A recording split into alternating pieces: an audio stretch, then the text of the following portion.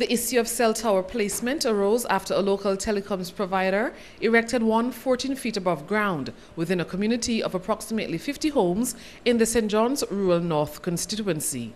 Minister Charles Fernandez is the area representative, and it is he who brought the matter before the cabinet three weeks ago. As a consequence, the director of the Development Control Authority, the chief town and country planner, and the deputy town and country planner were invited to cabinet to address the issue of cell towers. The DCA was asked about and ultimately confirmed that it has authority to order companies that operate these towers to remove them. The cabinet then ordered the removal of the cell towers, a request to which the firm acceded.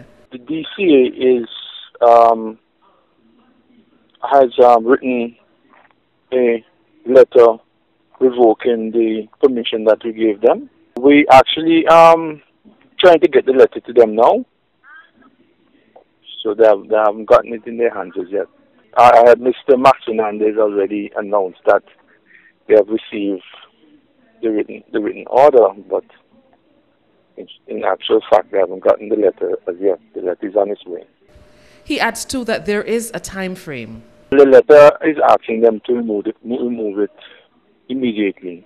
In addition to the letter revoking their their permission, we also serve them serving them an uh, enforcement notice. And if they do not remove it, the enforcement notice would give us the legal authority to forcibly remove the tower.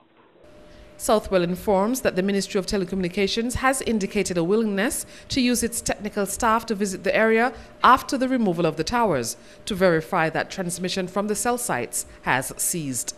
This is Aisha Caleb reporting for ABS News.